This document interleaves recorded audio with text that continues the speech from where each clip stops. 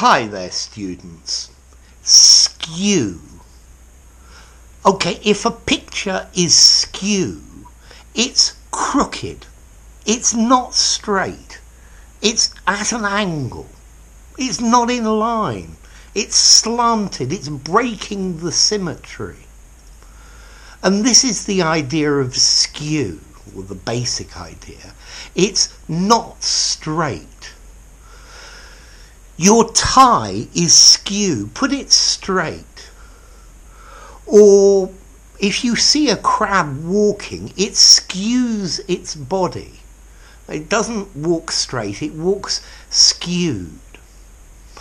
Skew can also be used in mathematics, meaning two lines that are not parallel, but they don't intersect, they don't cross, so they're just pieces of lines, maybe.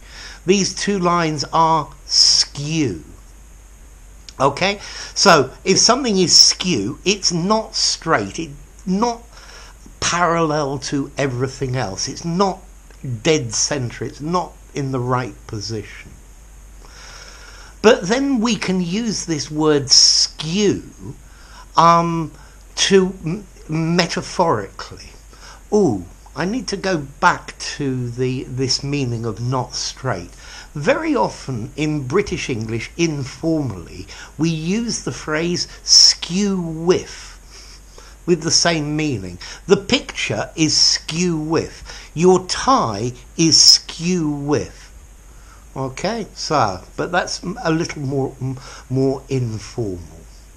So, to skew metaphorically, meaning to give a bias to something, to be, uh, not to be uh, mm, exact, not to be correct, not to be, not to measure what it should, to lean towards.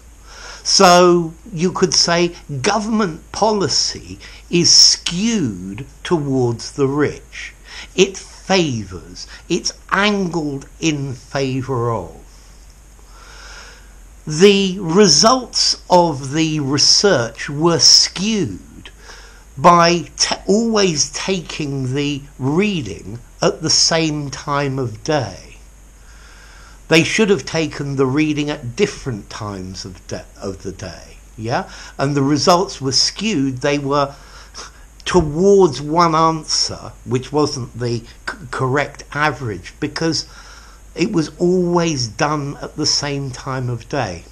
So skew, twisted, slanted, misrepresented, distorted. Yeah? Not the average or not the general one, but skewed.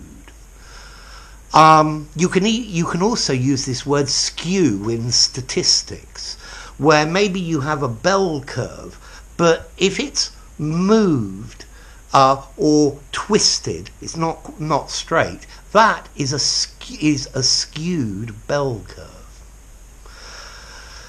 Many visitors who come to London only see central London and the tourist sites.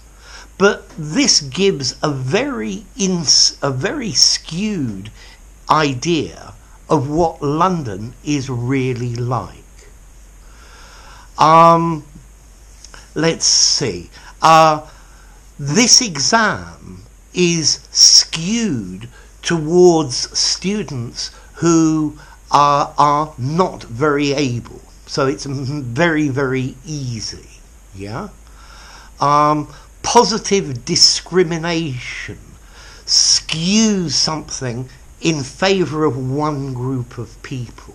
Okay? So skewed, biased in a specific direction. So skew. What about formality? I think skew I would probably give a six in formality, although you could use it in an informal conversation and you could use it in a very formal document. This is skew. This is skewed. Okay, skew comes from Old French, escuer.